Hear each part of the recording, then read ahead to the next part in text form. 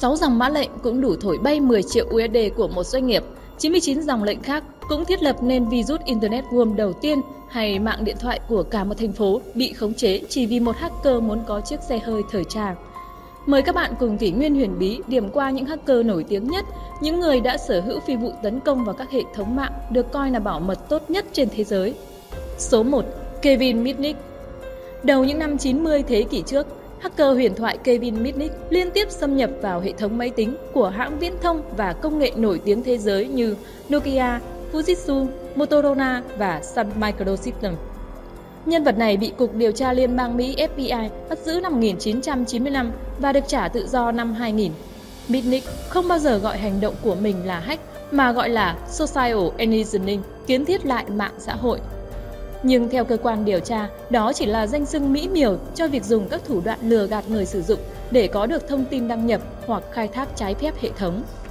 Số 2. Gary McKinnon Tháng 11 năm 2002, hacker người Anh Gary McKinnon xa lưới sau khi chui vào hơn 90 hệ thống máy tính của quân đội Mỹ tại Anh.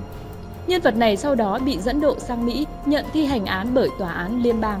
Số 3. Vladimir Levin Năm 1995, tay chơi máy tính người Nga Vladimir Levin quét thủng mạng thông tin Citibank để cưỡng đi 10 triệu USD và trở thành hacker đầu tiên xâm nhập vào hệ thống máy tính ngân hàng ăn cắp tiền.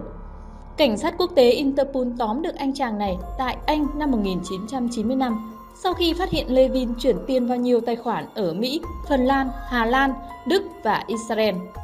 Số 4. Kevin Poulsen Năm 1983, Kevin Poulsen, một sinh viên Mỹ, đã xâm nhập thành công vào mạng ARPANET, tiền thân của Internet ngày nay. Poulsen đã lợi dụng một lỗ hổng trong cấu trúc của hệ thống thông tin toàn cầu đời đầu này để giành quyền kiểm soát tạm thời toàn bộ máy tính cả nước Mỹ. Sau đó, vào năm 1990, tại đài phát thanh địa phương ở Los Angeles, Mỹ, công bố một cuộc thi với phần thưởng là chiếc xe hơi sành điệu Porsche 944S2 dành cho người thứ 102 gọi điện đến chương trình. Và lại là hacker Kevin Poulsen, chiếm được quyền kiểm soát toàn bộ mạng điện thoại của thành phố này để đảm bảo anh ta là người có số thứ tự đó và cuối cùng đoạt được phần thưởng ô tô sang trọng nói trên. Poulsen đã bị bắt một năm sau đó và chịu án 3 năm tù. Nhân vật này hiện là biên tập viên uy tín của tờ báo công nghệ Wired News của Mỹ. Số 5.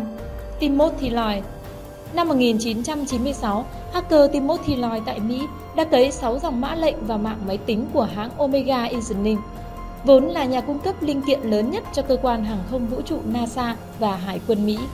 Mã độc nói trên cho phép một trái bom logic phát nổ và xóa hết phần mềm đang kiểm soát hoạt động sản xuất của Omega, khiến công ty này thiệt hại 10 triệu USD. Số 6. Robert Moritz Năm 1988, Robert Morris, một sinh viên 23 tuổi ở Đại học Cornell University của Mỹ, tung ra loại sâu mạng đầu tiên. Ban đầu, anh ta phát tán 99 dòng lệnh lên Internet để thử nghiệm và nhanh chóng nhận ra chương trình của mình có sức lan tỏa rất nhanh trên các máy tính. Rất nhiều PC trên khắp nước Mỹ và nơi khác đã bị hỏng. Morris sau đó đã bị bắt năm 1990 bởi Cục Điều tra An ninh mạng. Số 7. David Smith Năm 1999, virus Melissa là phần mềm tấn công đầu tiên có thể gây thiệt hại quy mô lớn, do tác giả David Smith 30 tuổi thực hiện. Melissa lây lan vào các hệ thống máy tính của hơn 300 doanh nghiệp trên thế giới và phá hủy hoàn toàn mạng PC ở những nơi này. Thiệt hại ghi nhận sau vụ việc trên lên tới 400 triệu USD. Smith đã bị bắt và chịu án tù 20 tháng kèm 5.000 USD tiền phạt. Số 8.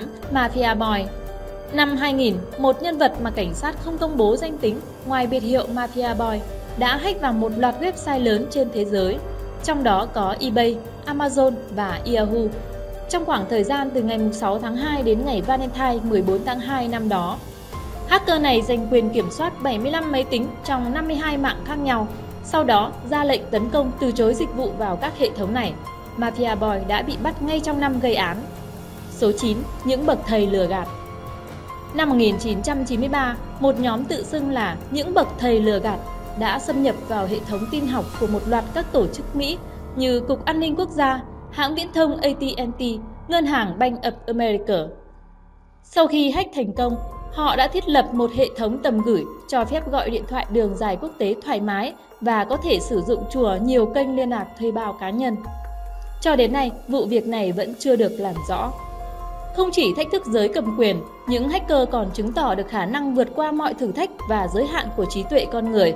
Tuy vậy, chúng ta hãy cùng hy vọng không có vụ việc nào nghiêm trọng xảy ra ở Việt Nam bởi nó sẽ gây những hệ lụy vô cùng lớn.